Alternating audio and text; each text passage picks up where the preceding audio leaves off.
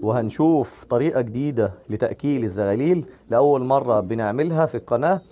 السلام عليكم ورحمة الله وبركاته. إزيكم؟ وحشتونا؟ عاملين إيه؟ يا رب تكونوا بخير. معكم أخوكم مصطفى من قناة مشروعات صغيرة وتربية الحمام. الزغلول الكبير والزغلول الصغير وبفرز البيض المخصب والبيض الفارغ نطلعه.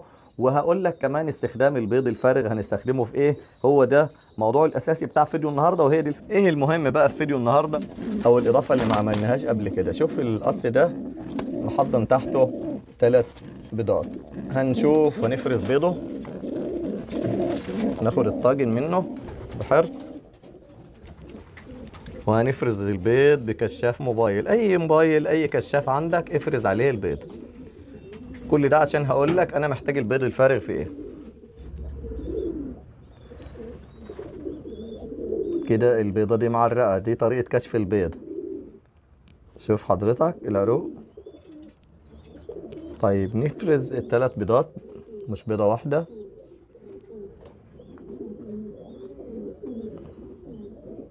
ما شاء الله. شايف العروق؟ ده آه، طريقة كشف البيض بس برضو أنا عايز بيضة فارغة.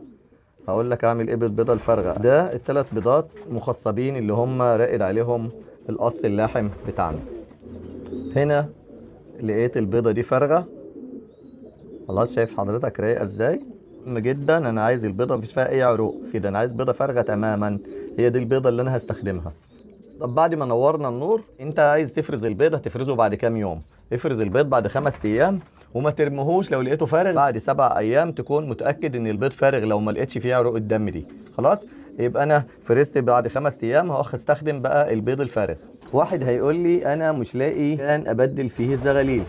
هقول له حاجة. يبقى هتأكله مفيش غير التأكيل. أنا كنت باكل بال mix. خلاص؟ ال mix. هقول لك النهارده على طريقة اللي هي باستخدام البيضة الفارغة.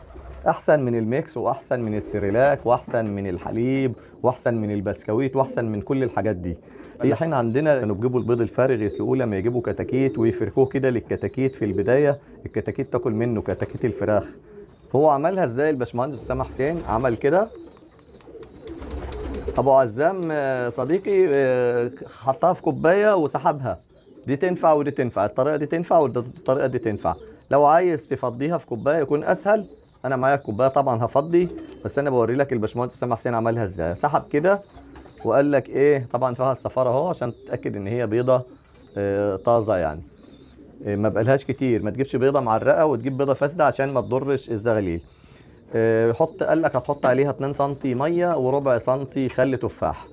طيب أنا هفضيها برضو في الكوباية علشان دي طريقة أخونا أبو عزام. برضو هنعمل بطريقتنا. فيها فضيناها. نزل الصفار والبياض. خلاص فضيناها أهوت. ومعانا برضو خل.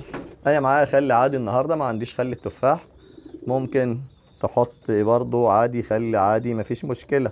آه، ربع سنتي ليه يا جماعة؟ خل التفاح أو الخل ليه؟ الخل عشان لو البيضة فيها بكتيريا أنت طبعا كنت محضن البيضة. لو البيضة فيها بكتيريا ما يجيبش الأمراض للزغلول ده هتنقذ بهم أي زغلول فبعد كده ما ترميش البيض خالص. أهو شوف لما قلبناهم. اصبحوا بالشكل ده ومعانا أهو الزغلول. هنأتي الزغلول مباشرة. طبعا أنا جبت زغلول كبير شوية علشان يظهر في التصوير يبان في التصوير. زي ما قلت لك كان زمان بيستخدموها مع الكتاكيت. بس كانوا بيسلقوا البيضة. آه لما نسيت الباشمهندس اسامه حسين قال لك آه اغلي مية ونزلها فيها نص دقيقة قبل ما تعملها. البيضة هتغلي المية وتسقطها في المية نص دقيقة وتطلعها على طول نص دقيقة بس وبعد كده تعملها كده علشان برضو تموت البكتيريا. لكن إحنا حطينا خل التفاح بس أنا أقول لك للأمانة بنتعلم من الباشمهندس أسامة حسين.